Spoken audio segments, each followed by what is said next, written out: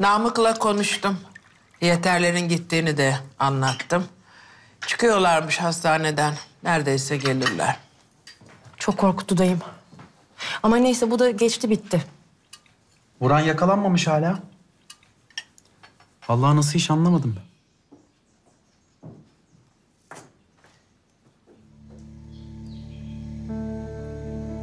Günaydın. Hayırdır lan kimsenin yüzünü böyle çarşamba pazarına çevirdi.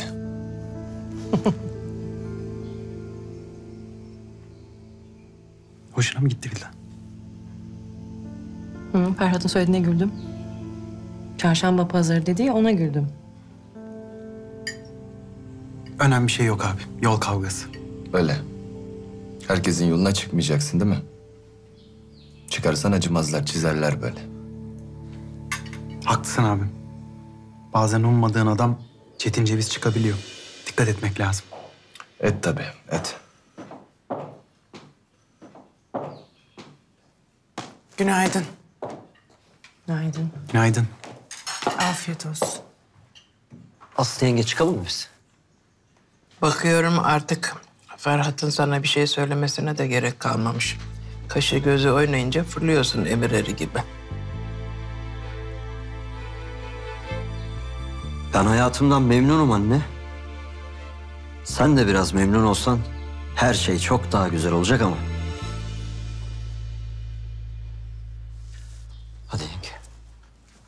Ferhat sen fikrini değiştirdin galiba. Hangi konuda? Ee, konuşacaktık. Sen bakıyorum organize etmişsin gelmeye de niyetin yok. Keyfim öyle istedi.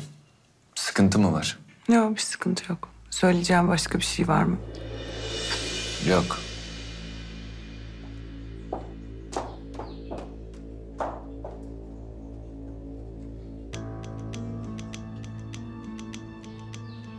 Sen o dediğim işi halletmemişsin taş ocağında Cüneyt. Hangi iş abi? Ben sana hafriyatçılarla konuş demedim mi oğlum? Hı? Kaç hafta oldu? Unutmuşum. Hemen ararım abi. Arama. Arama ben hallettim. Bugün toplantı var. Bir daha da unutma Cüneyt.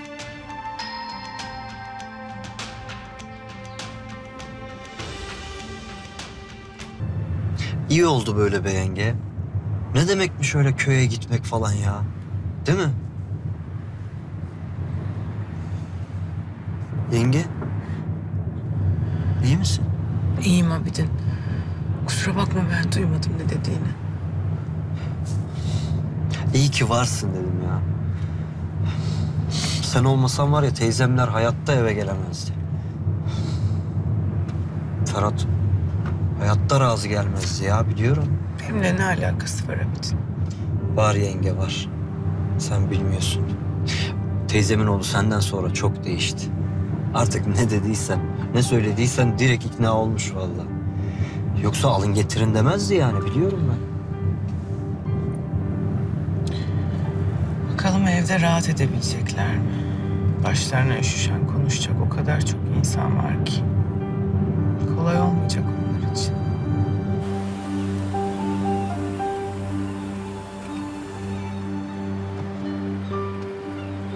Doğru. Allah'tan sen varsın yenge ya. Bugün varız yarın yokuz Abidin. O nasıl söz yenge? Öyle işte. Keşke Ferhat da gelseydi. Teyzem diretecek şimdi. Oğlu gelseydi direkt he derdi vallahi. Ferhat gelmez. Kaçak güreşir bilmiyor musun? Biliyorum. Ya yenge. Bir de ben bir şey düşündüm ama. Pardon Abidin. Efendim? Ne ilaç verdiniz? Tamam o dozda devam edin. Ben bir işim var bitirip geliyorum hemen hastaneye. Tamam. Gidelim mi?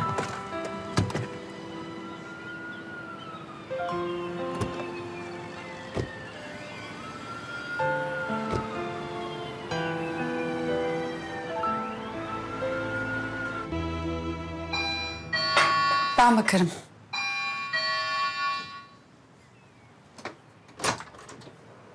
Aa, Aslı, hoş geldiniz.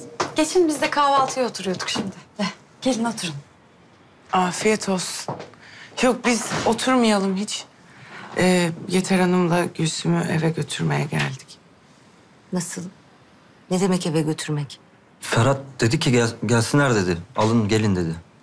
Dedi. Kendisi gelmedi mi? Yok maalesef. İşi var. Klasik Ferhat.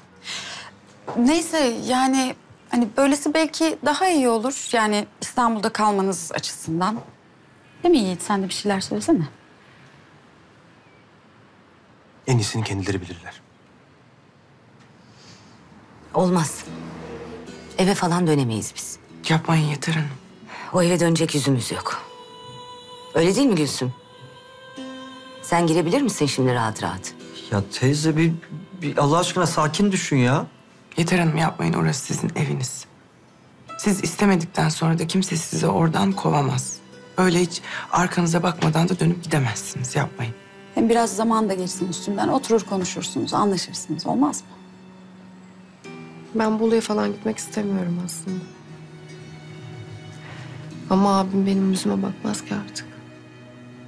Tamam şöyle yapalım. Benim babamın evi boş ve müsait. Sizin için uygunsa ben Gülsüm'ü alayım. Oraya götüreyim. Siz Abidin Yeter Hanım'la gidin.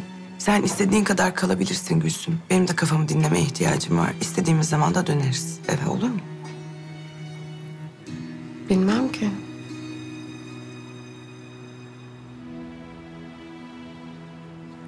Olur. Olur.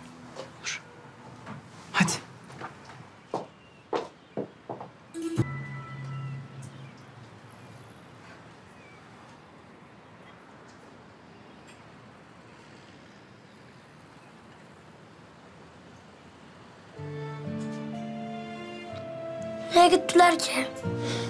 Gene gelirler anneciğim. Hadi sen kahvaltını yap.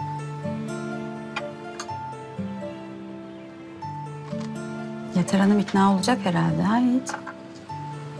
Herhalde. Ya biraz daha iyi davranabilirdin. Yani tamam fena sayılmazdın. Yani. İşte İki fırçadan sonra diyorsun. senin bu baban pırlanta pırlanta. Ama işte birazcık zor. Pırlanta ne ki? Benim işte. Hadi pırlanta yavrusu. Kahvaltı. Hadi.